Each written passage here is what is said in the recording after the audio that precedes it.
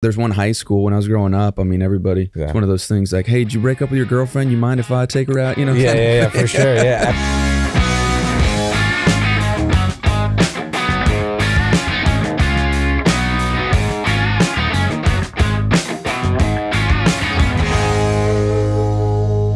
Hey everyone, welcome back. We have a new episode here on the 615 House podcast. It's your host, Chris Rudiger, and we've had a lot of great guests, some close friends on the podcast. But one of the best parts about this podcast is that I get to interview people that I've gotten to watch and know through social media, but I haven't actually met them in person. So this is the first time that I'm meeting them and learning about their stories.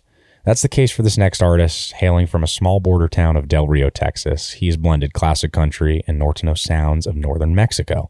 It's a really unique style, like a country Americana Latin blend that's super rich and his voice is so identifiable. It's it's got a really unique tone. And I think that's why when he moved to Nashville, it did not take long for him to sign a publishing deal with Warner Chappell and then also sign a label deal with Warner. He has uh, two albums, Faded Memories and Here's to You, Here's to Me, and two of the singles on that second album, Damn This Heart of Mine and Tennessee Drinking, were consecutive number ones at Texas regional radio charts. He's amassed more than 650,000 followers on TikTok. He has tens of millions of streams, performed at the Grand Ole Opry, signed a record deal, as I mentioned, and spent the last year touring with Parker McCollum, Randy Rogers, and Wade Bowen.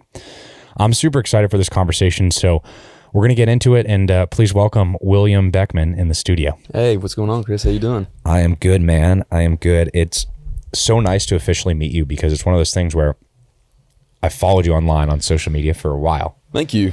and like I felt like I knew you through the videos, and like your personality just shines through. But Thanks, it's nice to actually connect in person and like shake hands officially. Likewise. So, Thank you for having me. yeah, man. You are man. You got some swag, dude. You, you got the style. I don't know about that, but I try. you know? No, you do, man. I like this like undershirt you got going Thanks, on. man. It's it's a good look. And I saw, I, you know, I've been watching your videos, but I, I saw that you were rocking a suit for a couple shows. It might have been like around the holidays or Yeah, something. man. but- Uh, we actually did this. It's our second year doing this um, this Christmas tour that we call Las Posadas, and Mm-hmm. and it's basically me just singing a bunch of Christmas songs and throwing in like some Sinatra, American standards, and it's it's really cool. It's fun for me. I've always been a big fan of crooners and and the Rat Pack and stuff like that. Uh, so to get to play dress up and be Sinatra for like ten days is really rad. No, but it- that's what that was from. it- we, did. I, I had to get like three or four different tuxedos so that I could swap them out night after night. But it was great, man. The fans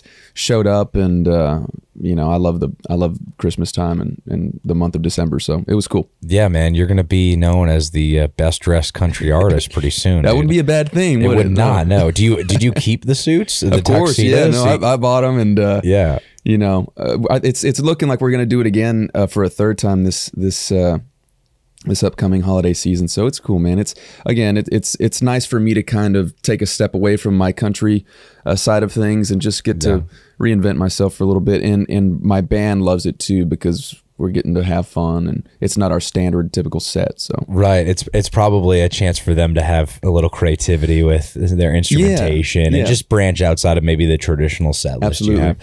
One thing that I, I wanted to talk about because I hear it from you have such a distinct and rich tone, but I can tell that there is clearly inspiration from the as you mentioned, the Rat Pack and the, Yeah. the Sinatra and the Presley era. I'm like I'm curious, what did you grow up listening to?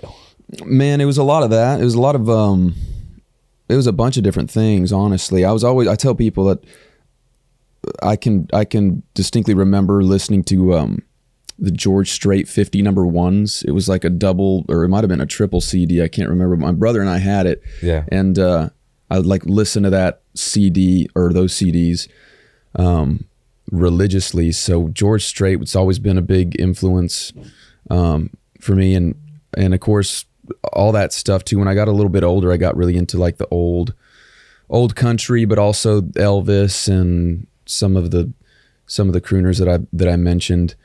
But also gr- having grown up in texas uh, there was a, a lot of texas country that i was listening to and so were my friends. So when i was first starting to learn how to play guitar we, I was, those were the songs that people friends of mine were requesting so that's what i would just learn how to play. So a lot of Yeah. people that I tour with now, like Randy Rogers band and and uh, Bowen and all those guys. So I mean, it's just a combination of a bunch of different things. Is it still shock you that some of those guys that you were listening to growing up, you're now like on the road and friends with and playing? Like how's that? Uh, yeah, absolutely. Yeah. There's times there's times where I where it's kind of funny if we're like at a bar having a beer or something. I'm like, man, my 16 year old self would be freaking out right now. Right. But uh, but they've been my buddies for a while now, so Yeah. I'm just grateful to have you know big brothers in the in the scene and uh, in the business that that uh, can help look after me and you know vice versa. It's all about leaning on people. So Right.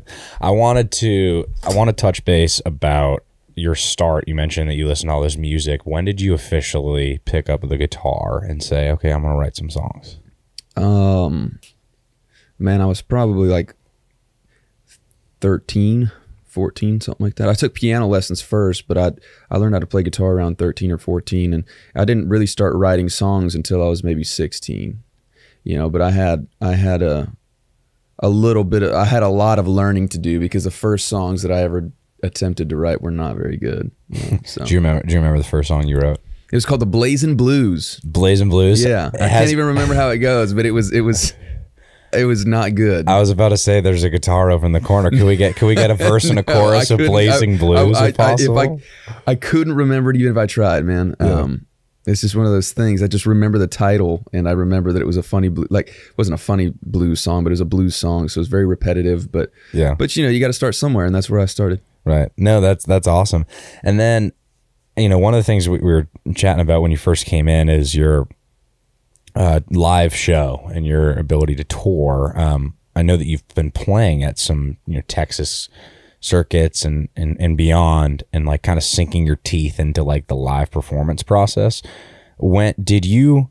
write songs and record songs first and then tour or were you kind of already touring prior like what what what was your live experience um you know pro- yeah, process no, I definitely had.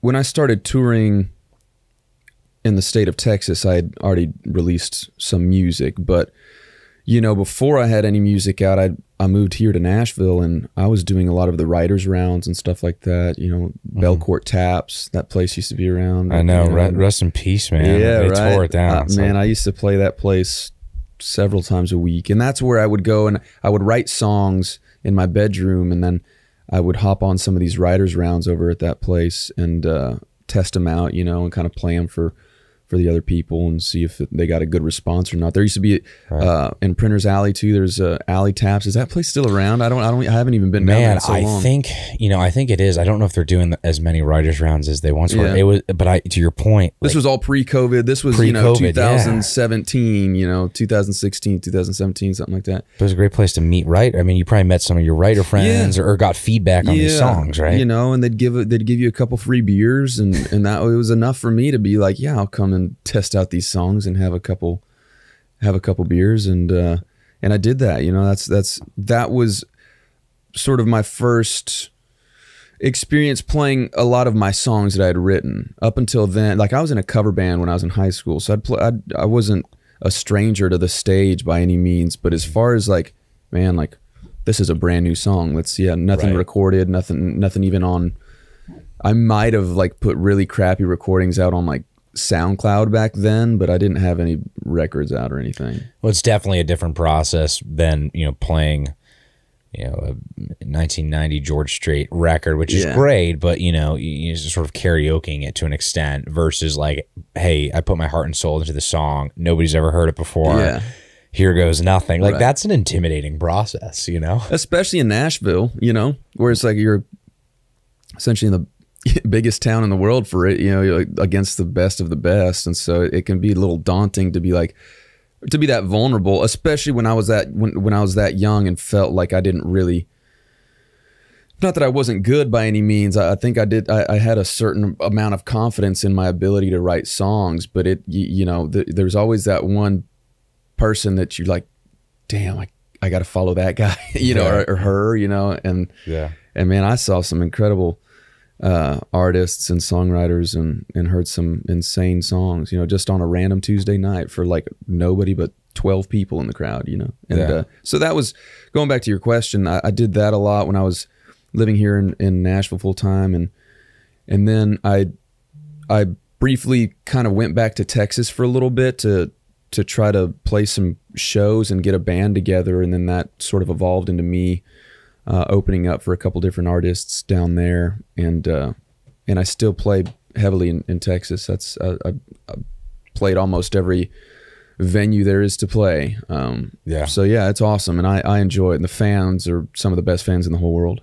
What I love uh, about that Texas circuit is their appreciation for original music because you know Nashville it's intimidating. There's a lot of songwriters, but people are uh, you know it's a great great collaborative community as well. But there are other cities you go to, and if you try to play an original song, it's like people are talking, slamming beers, like you know, it's like uh, did anyone even listen? And I think like it's really you know it's it the part of the process that I think a lot of people forget is like as the artist, you're also receptive to feedback and reactions of the crowd. And like when you're playing something for the first time that's your own and people are, you know, chatting or whatever, Yeah. it's like, oh man, maybe this isn't It's all vibes, man. You If the crowd's giving off You know? vi- certain vibes, I mean, you pick up on it. And you know, it's funny too because I, I've always been, um, I've always been really comfortable in in, in theaters and uh, very quiet listening room type environments.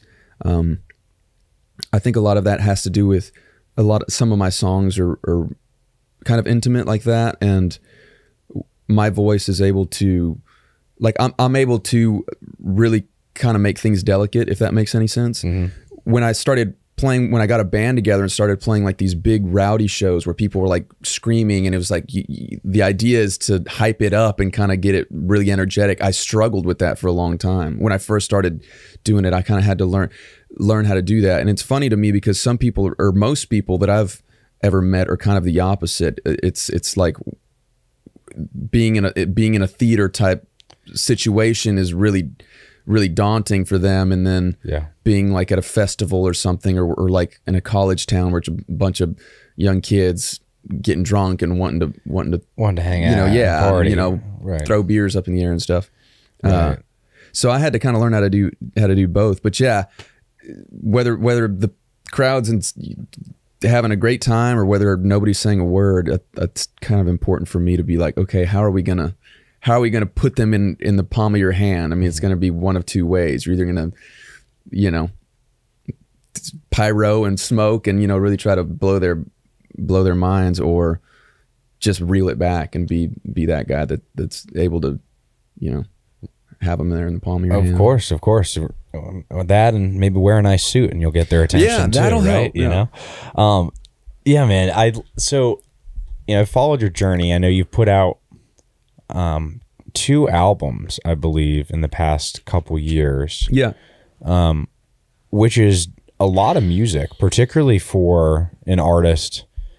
Um, like you know, coming out of the gate, right? Like you, you. I mean, you've been playing and writing a bunch, but that's a lot of music, and it's great music. Like, talk to me Thank a little you. bit about the process. I want to talk about the first album. yeah Um, because that, did that when did that come out 20, 2019 Uh, yeah. Well, Faded Memories came out in 2020, I think. 2020 Um, okay yeah yeah and fate But, but yeah, that that record I started at the very kind of yeah, it was at the very beginning of the pandemic because a lot of those songs I had uh, I had worked up with my producer and and there wasn't a band in the studio at all. It was essentially him and I just kind of layering a bunch of stuff because we couldn't really get anybody in the studio, you know. Uh, and so it was really just two people that, making it sound like there was a full band, and then I just cut the vocals and stuff, which is fun for me because I I love pulling stuff apart and adding things and taking my time with it. Sometimes when, especially recording here in Nashville, when you have a whole band, it can it can go by so fast, and it's like they'll listen to the song, and you cut it three or four takes, and then it's just like okay, and then you know on to the next song, and you don't really have time to sit down and and really live with with what's being tracked and stuff. So it was it was an. By the way, I forgot to mention a, a lot of the tracking for that first uh, record we did in Springfield, Missouri, of all places. It was a why, studio why'd, over there. why'd you go to springfield rather than again man it was just the, it was just covidy times and it was it was hard to get into a studio here. And w- my producer who lives over there has uh, a friend that's got a really really nice studio and and yeah, I don't even think we were going in there with the intention of like starting on the record. I think we were just going to do like pre-production stuff and kind of mess around and try to get some sounds. Mm-hmm. And it ended up just being a great trip and we cut a bunch of cool stuff. But it was just again him and I. Yeah. And we I think we did we did a we did a song of mine that I wrote called 30 Miles. And then we did a cover of Bruce Springsteen's I'm on Fire, which I don't think was ever really supposed to come out. We did that song and it came out so cool, almost like Yeah. a west to me it sounded like a western kind of Right. kind of it could be like in a western soundtrack and uh and I decided to put it on there just cuz I thought it was so so rad. But yeah, those two those two songs in particular, it was just him and I. It was just two people recording, and we just layered everything. That's he did. He did the drums and like the bass, and I did most of the guitars and piano and stuff. Yeah. So and I was gonna say you're a multi instrumentist yourself. How many instruments can you play? Um, the ones that I claim that I can actually get away with, I can play piano, I can play guitar, the harmonica and the bass. The drums, I can I can get by, but I, if I would I would never For sit your in. for I- your cover band, not yeah, for your I would, yeah, I would never sit in with another band and be like, yeah, yeah, I'll, I'll play drums on this song. Yeah, let me let me take a pass on this one. Right, that's uh, one of the things that I have seen you do, and uh, uh, to your point of that Bruce cover, you have a really great ability to take songs that are not maybe country or exactly in the lane of what a William Right. Beckmann song is, and kind of put your own twist on. it. I think it's a great sign of your artistry Thank and you. your awareness of where you want to go. And I saw a bunch of that that you've been posting on TikTok quite a bit. You'll take like a you know like a, a cover song and mess around with it, or whatever. Um, when did you first decide to get on not even TikTok but like social media and kind of like you know start like all right I'm doing this right? I got songs I got to market I got to promote. Like when did that all start? Yeah, that was probably I'd have to say um I mean, I was definitely very active on it before before the pandemic, but on- once when that, when the pandemic happened is when I found myself with a lot of time on my hands and and that's when TikTok was kind of king. Uh and so I didn't have honestly anything better to do but make videos. And it felt good feeling like I was even though I, I, I or most people felt like they had their hands tied behind their back because they couldn't go out and tour or really promote uh, promote their music by performing. Um, it felt like by doing TikTok videos and being able to engage with the fans that were already following me, but also making new fans at the same time, it felt productive and it made me feel good and um, and I did it. And it didn't. I didn't matter to me whether I was promoting my own music or just making funny videos of me covering a, you know, whatever kind of song it was. Uh, it was just a, a cool way for me to, hopefully, cast my net a little bit wider and Yeah. and make make some new fans. So that's that was the whole the whole idea behind it. But uh, it you was have cool. you have quite a sidekick um well I'll have to pull up this clip here for reference Yeah. you do a really interesting rendition of Fast Car um Yes. where, where ev- sort of every other line and you have a good friend of yours that, that comes before in Combs recorded it too. Yeah. So you were on top of it before Luke. Do you do you feel like Luke maybe took some of the thunder from you on Fast Car? Not at all. He's got a great he's got a great version. Um and you know, I messed up the words in, in my in my video, but that video was honestly just kind of a fluke. It was me it was me it was supposed to be me genuinely trying to record a, a nice rendition of that song because it's everybody knows that song and it's such a beautifully written song. Uh and my buddy my buddy Andrew was was with me and was just being a goofball and kind of messing you know he would just ad libbing stuff being being a hype man anyway it i thought it was funny and i put it up there not thinking much of it but it got like over 20 million views or something like that and i don't even know how many reposts Yeah. it got and stuff but uh, That's wild, man. like What- other people took the sound and had vi- like millions and millions of views too and had viral videos so Just kind of spiraled, huh? it just kind of spiraled. It was funny there there for a minute. Uh, yeah, we were we were all, all over TikTok, and uh, you probably had like a bunch of new followers and that your I phone did. must have been blowing up. I did. Yeah, every once in a while, I'll still have people ask me to play that song at a show, which is funny. That's that's crazy. But I try to stay away from it now because Luke, you know, Luke's got a great a Yeah. great hit with it, and uh, Sure. you know, but it was fun. What's yeah, man. It's it's crazy to me the power of what one video can do. Not, I mean, with that song in particular, like the amount of eyes and ears that were that became aware of who like William is as an artist, and then like followed you and are like I'm sure some of those people that came from that video, you know, have stuck around Yeah. and continue to support. It's like the power of social media is just like mind blowing. Absolutely, man. I think what's the craziest thing is how it's funny how when you don't try to do something, or I guess when you don't try to have a viral moment is when it happens, and when you try to follow the trends or whatever's going on that's relevant, it just never seems to land because that was truly one of the. Mm-hmm. That was one video that I probably least expected anything to happen. But you know, it's funny because it, it's all in it's all in the hands of the of the uh, of the viewer. You know, if they wanted to reshare something or if they thought it was funny, then it, it clearly works. But uh, Right. I think it's just the authenticity behind it. Yeah. Really, it's it, when you take a moment that's so real of you performing this cover and singing great, and then your, you know, knucklehead of a friend Yeah. is like jumping in the background. It's just it's very humanizing. Yeah. And I think sometimes people get upset with like overproduced or fluffed up stuff, and like. That's one thing I think I've realized is like people are smart, you know. People can kind of read the, you know, the room, yeah, the room and like you know, transparency is crap, great, man. You know, it's like uh, authenticity and and being genuine. I think goes so much further than like, hey, look at me, I've I've got talent and I can sing. It's like, well, yeah, there's a, a ten thousand other people on this app that can do the same thing. So fast forward after this, you know, TikTok moment after you put out a couple records. What's crazy, just your trajectory, man. You get a publishing deal with Warner Chappell. Yeah. You now have a record deal. Um, you go and play the Grand Ole Opry. I mean, let's talk. Let's start. There's too much. There's a lot to unpack here. Yeah. But let's let's start on the Opry front. I mean, when you got that call, like, give me the play-by-play. Um, yeah, no. The, when I got the call, it was amazing. Uh, Obviously, it's everybody's dream to to play the Opry, and uh, something I've thought about since I was a kid. Uh, but yeah, it was it was it was awesome. My parents flew in from from Del Rio, and uh, it seemed like half of my hometown was was there for it.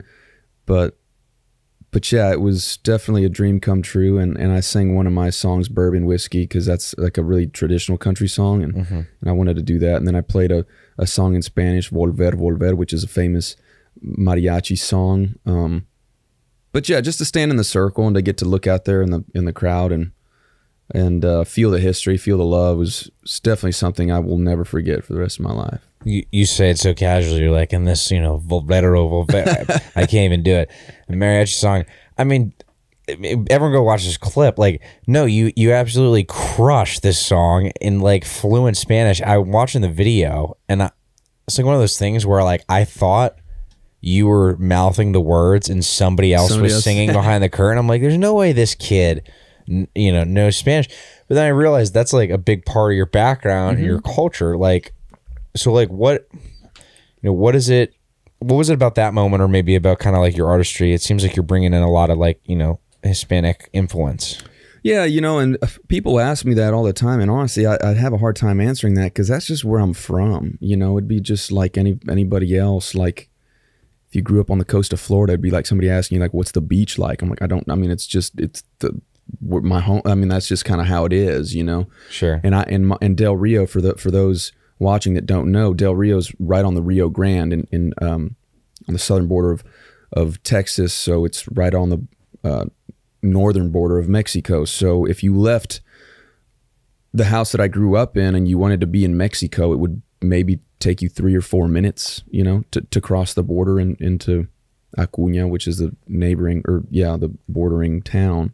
So yeah, it's just like people coming back and forth. Everybody speaks Spanish. You know, when I was first learning how to sing, Yeah.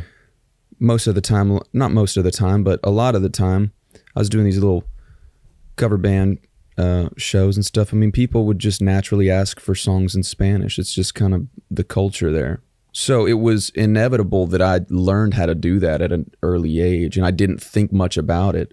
So it's just part of, I guess, me as an artist. And then going back to the Opry, one thing that I quickly realized is like, yeah, I had a lot of people that were there to support me, which I, which is one of the greatest feelings in the world to have, you know, your family and everybody coming there. But there were so many people there at the Opry that just happened to have a ticket for the Opry that night. They have no idea who I am. They have no idea. If, they might know kind of some of the bigger artists and stuff. So it was all, honestly a lot of exposure, and it was a great opportunity for me to just showcase, like, hey, look, if you don't know who I am, let me show you a little bit about where I'm from and what I do. Right. And and that's what I kind of remember the most from that night, and that's why I thought it'd be important for me to sing one of my songs that I wrote that was arguably the most country thing I've ever written. Yeah. And then a song in Spanish that's like, look, this is this is a little piece of my hometown, you know, here. Dude, I love it, man. You take you take a traditional country song that's very much in the pocket of what you're doing, and then also, uh, you know, there's a Hispanic song that is also in the pocket of what you're doing, and you're blended together. And like, I mean, people there was clearly just saw a standing ovation. A bunch Yeah, of people thank- probably followed you from it. Like, it's it's really really cool what you're doing. I'm blown away. Like, I know it's like you're like, oh, it's it was where I'm from. Like, it's crazy to me, but like. You're a couple miles away. Like, were you ever like, hey, like, friends, you guys want to pop on over to Mexico for a day Yeah, and then come we back? like, did you do day trips to Mexico? Yeah, I, all the time. Um, I mean, that's where I kind of learned how to drink a beer, honestly. uh, but you know, there's a there's a lot of uh, history in in Acuña, which is the, like I mentioned, the town that borders my hometown. You ever seen the movie Desperado with Antonio Banderas? Mm-hmm. That movie shot in, uh, well, the big shootout scenes. Most of the movie is is shot there in that town, but there's a famous bar there called the Corona Club, and that's where a lot of those shootout scenes happen. Really? And I filmed a music video for one of my songs in the same bar. So the song is danced all night long, Yeah. and it was cool because we did it like as a one take. So it's a one shot, like a Oh, dude, I a love one-take, one takes. um, one takes are so cool. yeah. But that bar is where they filmed that movie in the '90s. Wow. So that's my hometown. That's crazy. Yeah. How many people are in your hometown? My hometown's probably like f- uh, a little over forty thousand people, Okay. forty-five thousand people, something like that. Yeah, yeah. So it's not like. I mean, No, it's not a tiny it's town, Crazy small, but, it's, tiny. definitely It's small, it's tiny enough to where every most everybody knows everybody. Sure. When I was growing, there's one high school. When I was growing up, I mean, everybody. Yeah. It's one of those things like, hey, did you break up with your girlfriend? You mind if I take her out? You know? Yeah, yeah, yeah, for sure. Yeah, everyone knows that. I get it. It's the small town stuff, man. You know, I just think it's great. You're like, hey, I'm, you know, you guys want to pop on over to Mexico? I got a got a gig in, in Mexico tonight, and then back in the states tomorrow. It's it's just great. Um, we're gonna we're gonna take a quick break. We're gonna be right back here, guys, on the Six One Five House Podcast.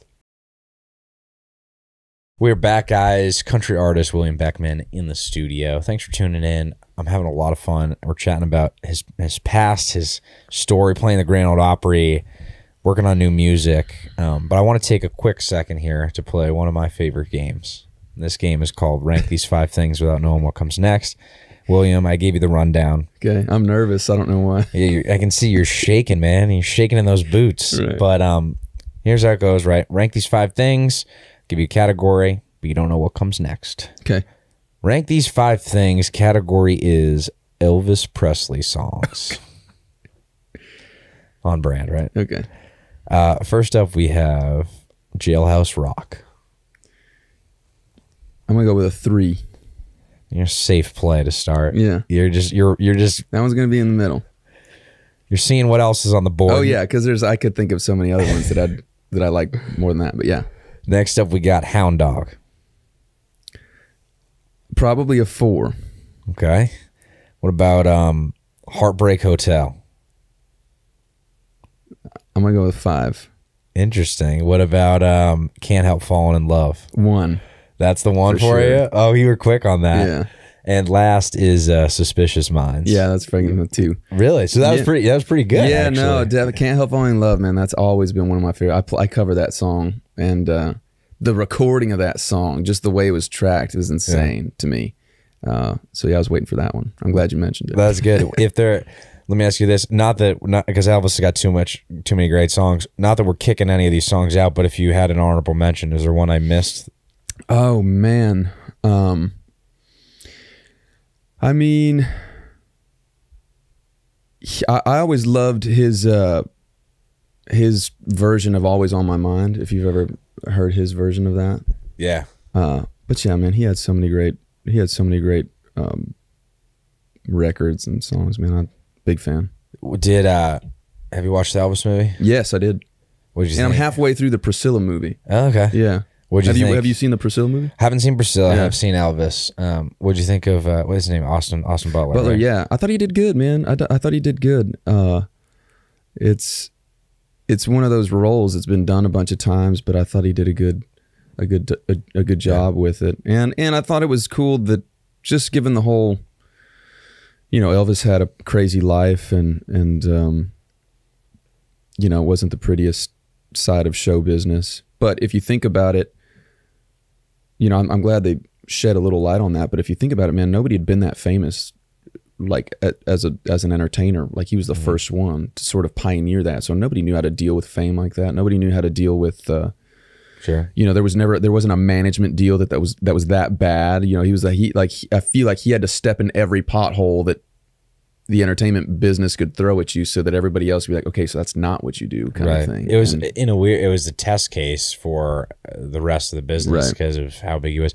I'm going to ask you something, just off the top of my head here, because I think Elvis was so influential and so big. Like I would almost argue, like no one could ever be as impact or just monumental, I guess, as an artist. However, like I think we're seeing it right now with like early signs of like what Taylor Swift is doing. And like, am I crazy to say this? But like, I know Elvis is here, but like, is Taylor Swift like the next Elvis? I I don't think you're crazy for saying that. I think she's just she's just as influential as as anybody at, at Elvis's caliber. Um, I think it obviously it's just a different time. You know the the, it, the way things get passed around just with the internet is a little bit different than than things were back then. But uh, I'm a I'm a huge Taylor Swift fan, and I love that she writes her own songs and that she seems like a a really smart like businesswoman too and um and i think she's a great role model man if anybody's gonna like f- fall in love you know if you want young young kids especially young girls to look up to somebody man why, why not it be her you know? I mean, every four to 24 year old girl is Yeah. in the palm of her hand. So, um, whatever she's doing or whatever she's eating in her cereal, it's, I mean, it's working. Um, I want to do another round of rank Okay. these five things. I'm very curious to see your reaction to this because you're like, I can tell you're very, um, how do I say this? I don't know. You're, you're just thoughtful. You're analytical about music. thank you So here we go. Rank these five things. Category is decades of music. okay First up, we have the 1970s. okay that's gonna have to be uh oh man that's uh, that's gonna have to be like number two for me Okay, big 70s guy. yeah What about the 70s got you going? Man, I I honestly like a lot of the songwriter stuff, like the Neil Young and uh, like that.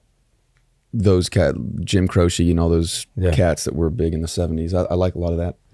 What about the Stuff. 1990s? James Taylor too. Nineties. Um, I'm gonna go with a four on the nineties. I do like the nineties. There's a great music. I, I mean, there was great music that came out of every decade, but uh, You ever headbanging to uh, Nirvana? or Oh, no? yeah.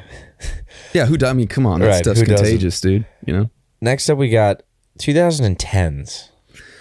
probably five. I, you know, because I don't. Um, we we live, you know, that like we lived through through that, and and I guess I have just a different perspective on it because I'm like, oh yeah, I remember when that song came out. But I, there's a couple songs that I remember that came out while we were, while I was growing up, and I'm like, this is this is my, you know, this represents me or whatever. I'll Yeah. never. I didn't have a lot of those. I don't know if you did. I mean, there were a couple Maroon Five songs that I can remember. I'm like, yes, like that, like any, like I'll, I will be in my 50s and I'll hear that song and it's gonna Right. take me right back to when I was, you know, a teenager or whatever. But Yeah, I, I there are a couple maybe. I could think uh you're gonna laugh at me. I don't know. Katy Perry put out some songs that like for whatever reason was just like peak. Like when you're in middle school dance, I, I don't know. I just like have this vivid memory of like this girl I liked. I wanted to dance with her, and like you know, "Teenage Dream" by Katy Perry comes on, and I don't know Yeah. what it was, but it just like fired me up, and I was like, uh, "This is the moment I'm gonna ask," and like whatever it happened. So you know, It's- thanks, thanks, yeah, Katy. there was- you know, like it's a memory. yeah, there was a couple. Yeah, there was a couple that I can think of that I'm like, man, a lot. Some of that Mumford and Sons stuff, man, like they that that stuff got played a lot, and I'm like, dude, Oh yeah. Those songs will probably stick in my head. You know, Oh, yeah. they're they're little seared in my in my mind for for a long time. Okay, so we had we got the seventies, which you put at two. Okay. the nineties, which you put at four, and then you put 2010s at five, which means you got one and three. Next up, we have the nineteen eighties. Probably gonna, uh, I'm gonna probably put that at three.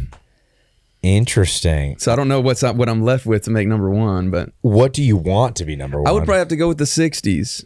Interesting. Yeah. Last on the uh, last on the list here was the early two thousands, which would Oh, be, okay. which you which Puts me at number one with which that, you which had is number one. But I didn't I didn't have the sixties on this this scorecard um, today. But totally the 60, 60s I figured are, are your jam.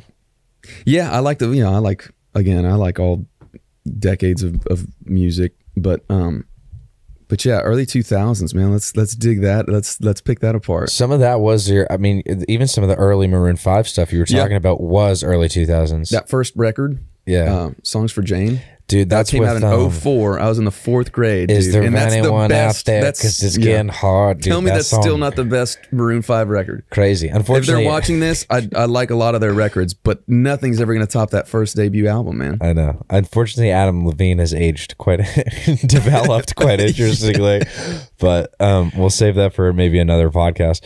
Um, there was also some like good. There was some good, good country music. I feel like in Oh, yeah. early 2000s. I mean, I still think of like you know. I mean, Tim McGraw was, I guess, a little back half of '90s too, but like into the 2000s, Rascal Flatts era. yeah, and a lot of that early Brad Paisley stuff too. yeah, Um, that chicken picking stuff, dude. He's a great player, huh? He's great, man. I was a big Dierks Bentley fan. Gary Allan, man. I tell I tell my team that, uh, gosh, man, so I, I just grew up on a lot of those, a lot of those Gary Allan records, um, and so that was all early two thousands as well. It was, yeah. Is there is there like do you have like a dream collaboration like somebody that you Man, I get that it, it changes all the time, but uh, I'd love to get into a, a room and maybe try to sing a couple songs with somebody like um, like Gary Allan. I'm always a big fan of voices, man. I'm always like, I might love somebody's music and stuff, but I'm always trying to think to myself whether or not our voices would mesh well together on a record. Is there anybody? Is there? I mean, Like I don't lead with like, oh, so and so is really hot right now. Like Right. if I collabed with them, it would be great. From no, like it's like I I like to take their voice at face value and be like, yeah, they would they would we Right. would sound like I feel like Lana Del Rey Mm-hmm. and my like I feel like her voice and my voice might be interesting together on the same Yeah. on the same song. Um, is there anyone? Is there anyone? same like with Kacey Musgraves. I love Musgraves? her voice. Yeah, yeah. Uh, I was that was I was going to ask. Is there anybody like like right now and today, like an up and comer or like a not that Kacey's new, but like a a new-ish artist that like you know really fires you up, just like vocally. Maybe it is Kacey. Yeah, I mean, yeah, her. Um, and I can't. I'm not. I can't really think of anybody right now. Of, go, of course, Lainey Wilson's killing it right now, and, and I love her voice too. She and I've done a couple radio things with her, and she's a fantastic singer live too. She sounds just like the the her Yeah. records, and so and I, I'm always a. I love it when I see that. Like I'm like when you see somebody really a well trained vocalist, a well trained singer. Right. Uh, I'd love to. I'd love to get to work with her. Some of the guys uh, that are out there that whose whose voices I think are are killer. Of course, I've toured. I've toured with Parker McCollum for a couple years, and he's the same way. He, he's a great singer, and uh, and it sounds different. You know, there's nobody that he's trying to sound like, and there's nobody that I can that I can think of that can sound like him. So that's it's definitely got a unique vocal style, which I think is rad. Speaking of well, uh, Parker and well other other artists that have big Texas following, I was looking online. I saw you do this like docu series, um, and you had it's pretty cool. You had like you know, Wade Bowen was on there, a couple of your other guys Yeah, that like Pat- Pat- Green, I think, Pat was Green there. was on there. Yeah, like it was a cool little clip to watch. Can you talk to me a little bit about that documentary and sort of like what it means to you? Yeah. So basically, the as we were talking about earlier, um, in my hometown in Acuna, which is on the other side of the uh, of the Rio Grande, they used they used to do these concerts in like the late '90s and early 2000s, where it was basically kind of like a spring break block party thing. If you if you Sounds like my jam. no, it was awesome, and a lot of the Texas cats would go down there. So Pat Green and Robert Earl Keen, the Randy Rogers band. I mean, you name it. They all Cross Canadian Ragweed and and everybody would go to Mexico for like a weekend, and there was like a big block party, and they would just kind of go crazy for a couple days, and uh, it was a it was a big thing back then. But then that sort of died, and uh, they didn't do it for a long time, and so that documentary was like uh,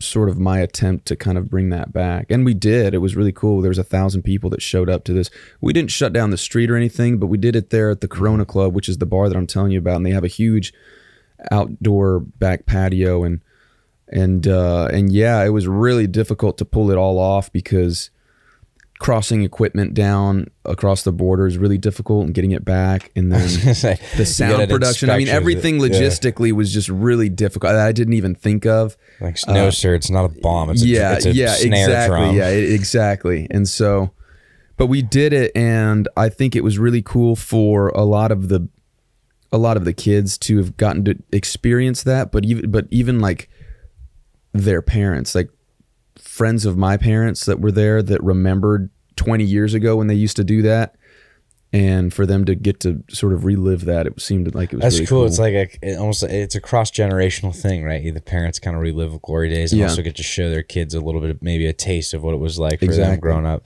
That's really cool, man. I love I love that documentary, and for anyone watching that hasn't checked seen it, you, get- it's on your uh, your YouTube yeah it's on my channel. yeah it's on my website as well yeah Okay, road cool. to acuna Road to Acuna. I love it.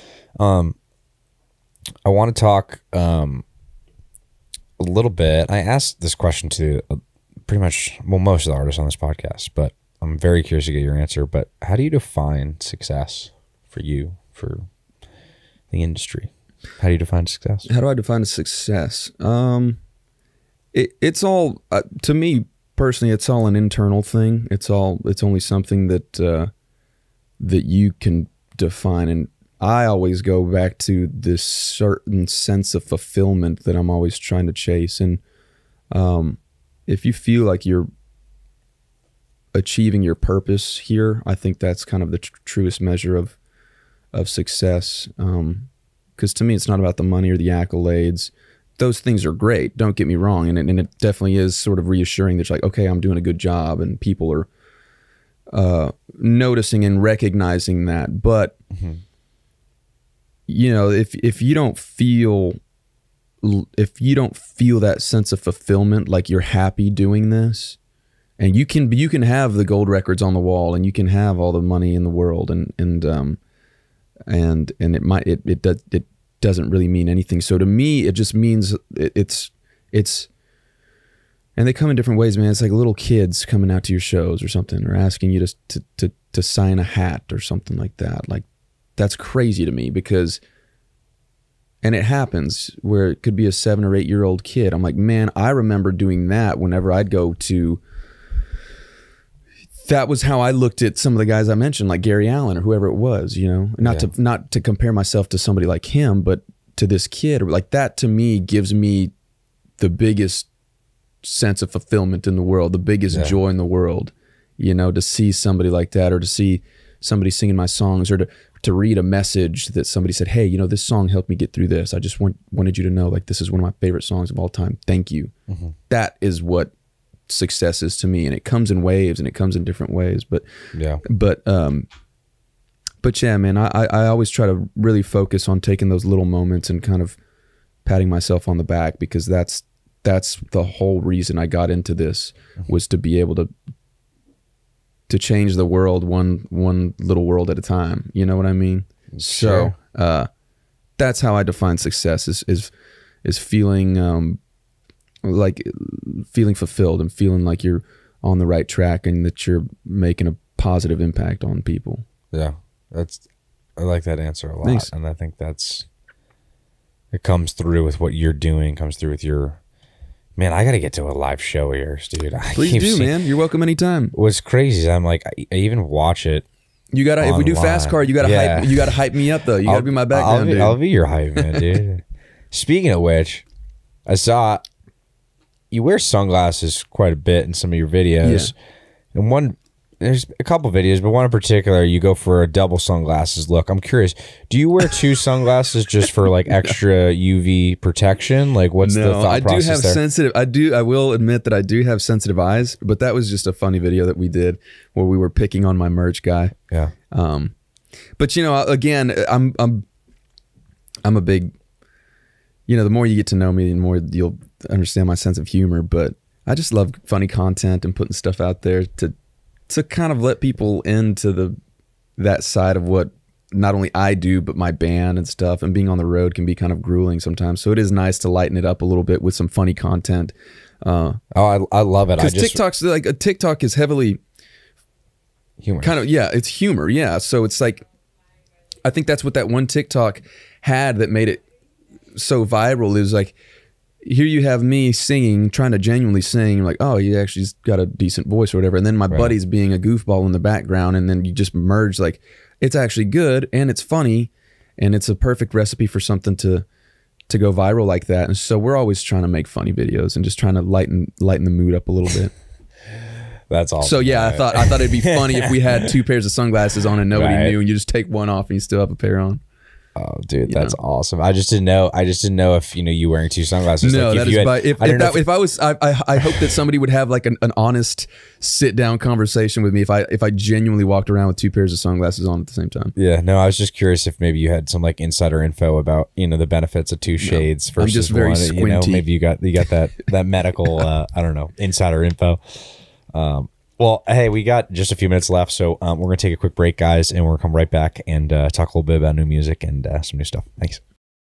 What's up, guys? We're back. William Beckmann in the studio. He is releasing new music. Put out two albums, but releasing new music on the road. Um, such a great hang, dude. I am really enjoying chatting with you, and I'm I'm also very excited for this next uh, segment. One because you have no idea what's coming, but two because um, it's one of my favorite segments with our friends over at Ariat. Um, they're a great Western apparel company, and um, they have tasked us with the opportunity to ask rapid fire questions Okay. to our guests on the podcast. So the way this works is uh, we got 60 seconds on the clock. I'm not.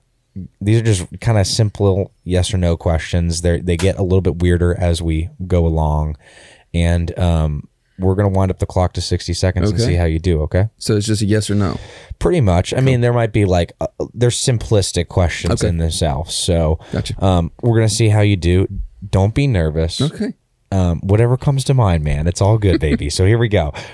Rapid fire questions. Let's get it. What's the best type of muffin? Blueberry. Do you like the word dapper? Yes. If you were given an all expenses paid trip to Cleveland, would you take it? Of course. Ask for permission or beg for forgiveness? Ask for permission. If you would you eat a day old taquito from 7-Eleven? No. Would you rather go bald or grow 50% more hair everywhere else? Probably fifty percent more hair everywhere else. I feel I feel like I'm gonna regret that, but yeah. Is a handlebar mustache the best type of mustache? No. Um, using the Elmo voice, tell me how you like your coffee. I can't do that. Last one. Uh, pickles, yes or no? Yes. I can agree with you there, and I still want to hear your Elmo voice at some point. Uh, I wish I could. I don't even know. I have to practice. Oh, man. Um, oh, and uh, you told me this earlier, but dream collaboration. Dream collaboration. We're, we're gonna go with Kacey Musgraves for the for this one, just for the sake of picking one. There we go. Rapid fire questions. Um, you did really well. You Thank made it. you. You made it far. Thank you. A lot of people like choke up Choke after the up, take first too one. long. Yeah, Just gotta take too go with it. and you were just you were cruising, man. It was good. The only one I'm a little bit concerned about is the is the balding, or I feel like I would just have hair everywhere else except on my head, which is probably not a, as good of a look as just being flat out bald. Yeah, it, w- it would be. Well, you just have to wear a lot of suits to Yeah. cover it up. Um, but I'd be like a you got you got like a pretty s- like slick do going on. Thank you. Yeah, You, do you use a lot of like hair gel? not gel, but there is like some pomade that I use. That if I if I ever forget to pack it and it's like show day, it's not good. Yeah, you you, you said it with like it had a little like you had a little like pomade, like you gave it a little flair. Well, it you gets know? a little, it gets all over the place, and it's not the funnest to work with. But you know, you Yeah. do it for the sake of the show and for the sake of the podcast. Yeah, yeah, you do it. You do it for the people. Look at that, camera. right? That's awesome. So, I mean, I know you put out. Um, we we actually haven't hundred percent talked about this. I want to talk about your most recent album, and then I want to talk a little bit about new music. But what was because okay, so the most recent album, there's a couple songs on there. I'm I'm trying to make sure I get this right, Yeah. but Tennessee Drinking, which I do know, Yes. and then the other one was called Damn This Heart of Mine, right? Yes. And the whole album's uh, Here's to You, Here's to Me. Here's to you. Here's to me. Yes. Okay. So, uh, talk to me a little bit about the process of making that album. Yeah. Um, specifically, I want to hear about Tennessee Drinking just because I love that song. Thank you, man. Um, so yeah, this is like the first compared to the one before, uh, which was mostly written just by myself. I had a lot of collaborators on this uh, on this particular project, and so Tennessee Drinking is one that I wrote with Randy Montana and Jeremy Spillman, both of which are very accomplished uh, songwriters. Um, so to get to work with them was was a real treat, uh, and those two guys definitely know how to write a, a good song. So I was lucky just to get to work with them. And "Damn This Heart of Mine" is a song that I wrote one afternoon with a, a friend of mine who's a, a songwriter here in Nashville as well. His name's Nick Walsh, and and uh, we've written quite a few songs together on on this record.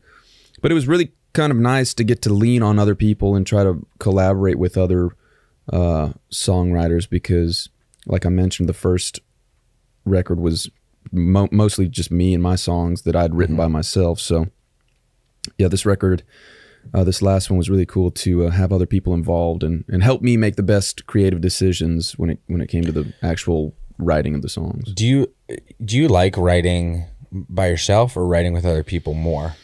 Um, they're t- they're two completely different experiences. I think it's nice to have a healthy balance between the two. Um, that's something that I'm just now just starting to try to get back into is writing uh, by myself. Some people think this is weird, but I've done this for a long time.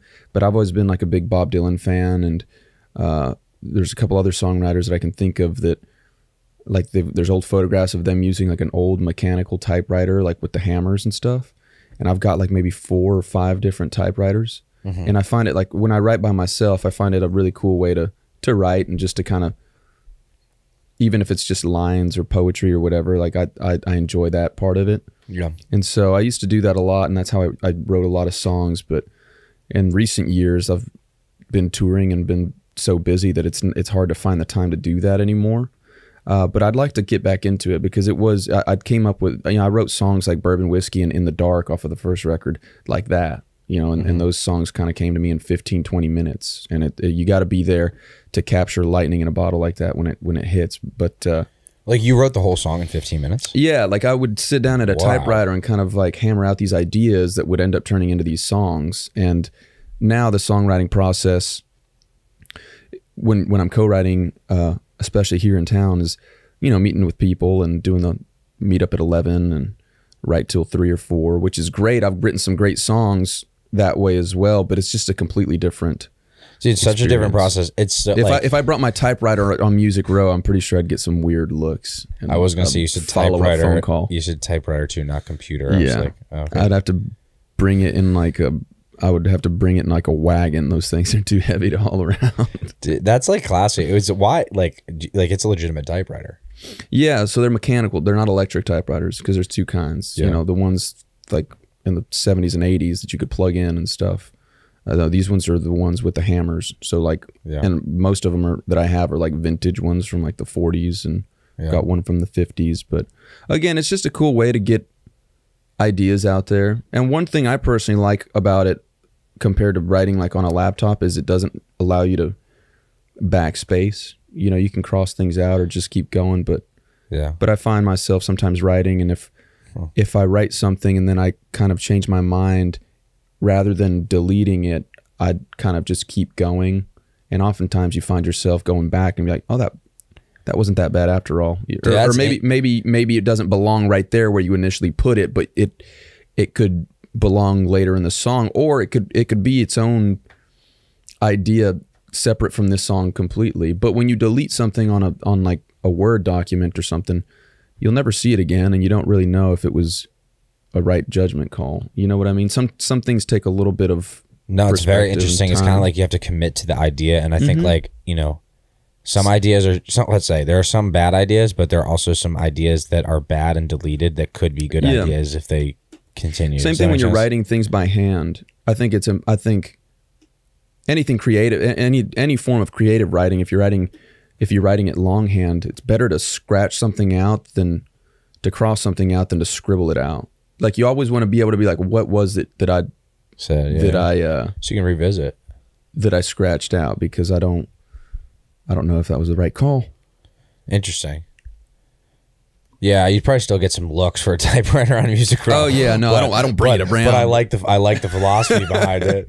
It's good. Um, and it's funny because I only really bought one, and I would tell that same story to any to, and, and then I've gotten like I've been gifted three or four other ones from other people, you know. So I've got like five of them now, yeah, which is crazy. it's very cool though. Mm-hmm. I like that. I'm I'm not in the typewriter game, but maybe I should. You should. It's fun. Tell you what, I'm It's more good aesthetic, too. I'm It's more just like- convinced now than I was five minutes ago. Yeah, I mean, and if you don't even have to use it. You can just put it on it. It looks cool decor, you know. Yeah. So, how do you balance with all this new stuff? I mean, you're writing, recording all this stuff, but then you're also like you said, like get a little grueling on the road, Mm. play shows, you got to write music, got to get get me on damn Instagram and TikTok every day. It seems like you know how do you like how do, you balance it? Do you do anything outside of music? like, Uh, you, know, like there, there are. I do. Where I come from, like my my, I've got an older brother and my dad. You know, they like to fish and they like to hunt and do uh, outdoorsy things. And although it's been a minute since I've really had an opportunity to go do that, that's something that I do look forward to doing whenever I'm not working. But also just taking time for myself. You know, resting. There's nothing wrong with being a couch potato for you're on a day off and watching something on Netflix. That's another thing. I don't really watch a lot of TV or anything. Um, I watch some stuff on like flights and stuff, but I don't get to watch series or anything. That because then I get upset because I get really addi- like I get really into something and then I never have time to really finish it or, Oh, or so. It's just like I'm like ah, I saw the first three episodes and then I never followed back up with it. Dude, it's the worst, man. There's everyone's talking about this the show Suits, which made like a big comeback this Okay. past year, and I got super into it. And then like whatever last month of the year got like super hectic for me, and I just like dropped out. I haven't watched it since, and it's like it's like killing me because it's like I left at the most like climactic part of Yeah. the show. So like maybe you're doing a yeah. good, well maybe you're doing a good job by not even diving into the TV show. Yeah, itself. like I'm like I'm a big movie guy. You know, I can knock that. You know, a movie you knock out in two hours, uh, and then it's done with. But yeah, if it's like a series, especially when it's Yeah. when it's not when the series is still ongoing, like man, I just don't have the time to like sit down and really. What's your favorite movie? Uh, probably The Godfather, the series of The Godfather. I'm like classic with that. But the first one's by far my favorite movie. I can't crack you, man. You're just classic everything. You got the suits, you got the country. I got- like old things. You got yeah. the you, you got you like but you know. God, Godfather's got to be one of the best movies of all No, no, time, no, it right? is. I mean, is. it's I'm up only, there, I'm, top only, I'm only poking fun at you. It's a top great- ten, right? It's a, oh, it's in rank these five things. It it deserves uh you know the one or Yeah. two spots certainly. Um, well, dude, it's been like it's been great chatting with you, man. I feel Yeah. like we could we could keep talking all day, but um, anything else that you want to let people know just before before we wrap up? That's it. You know, I got new music that I'm working really hard on at the moment, writing a bunch of songs, and uh, we've announced quite a few shows. Um, some Texas shows. We got some out of state as well too. So be on the lookout for that. But yeah, just follow follow me on Instagram and and uh, and all that stuff. And, and I'd love to see some some new faces at some of these shows.